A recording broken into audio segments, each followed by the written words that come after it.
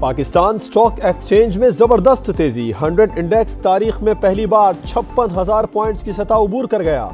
Trading के दौरान 600 से ज़्यादा पॉइंट्स का इजाफा।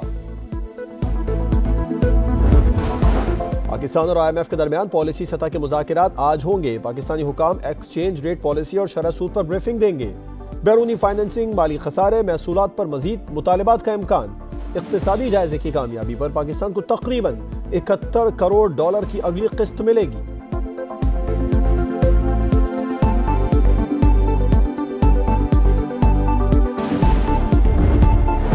तोहिन इलेक्शन कमीशन केस की आज समाज चेयरमैन पीटीआई पर फर्द जुर्म आयद होने का इम्कान। इलेक्शन कमीशन ने असद उमर फवाद चौधरी की भी जाती हैसियत में तलबी के नोटिस जारी कर रखे हैं।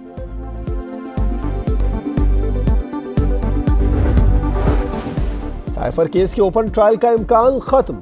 विफाकी काबीना ने चेयरमैन पीटीआई के जेल ट्रायल की समरी मंजूर कर ली। खसूसी अदालत के जज ने जेल ट्रायल के लिए हुकूमत को खत लिखा था।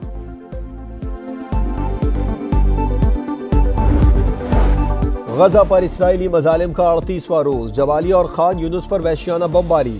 रिहायशी इमारतें मलबे का ढेर। उन्नीस शहरी शहीद मुताद बच्चे जख्मी। सेहूनी फौज का अलशिफा अस्पताल का मुसलसल घेराव जारी। फ्यूल और ऑक्सीजन खत्म।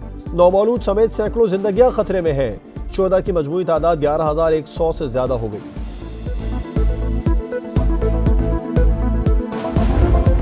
गजा में अलकसाम ब्रिगेड की भरपूर जवाबी कार्रवाई, दुश्मन की दर्जनों बख्तरबंद गाड़ियाँ और टैंक तबाह मुताद इसराइली हलाक ड्रोन के ज़रिए टैंक पर हमले की ताज़ा वीडियो भी सामने आ गई। लबनान की सरहद पर हिजबुल्ला का एंटी टैंक मिसाइल हमला, सात फौजियों समेत दस से होनी जख्मी।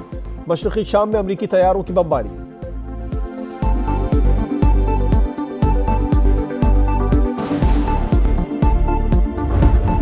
गैर कानूनी मुकीम अफराद के खिलाफ एक्शन। कराची के इलाके सोहराब गोट में पुलिस का बड़ा ऑपरेशन। पाँच सौ के करीब फ्लैटों की तलाशी, तीन सौ मुशतबा अफराद जेर हिरासत।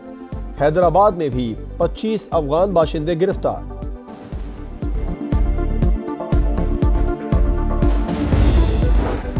और वर्ल्ड कप में बदतरीन नाकामियों का दाग लेकर वापसी का सफ़र। बाबर आज़म और पीसीबी अमले के अरकान दुबई से लाहौर पहुँच गए। कप्तान का मीडिया से बात करने से गुरेज, सख्त सिक्योरिटी में गाड़ी तक पहुँचाया गया। बाकी खिलाड़ी आज पहुँचेंगे।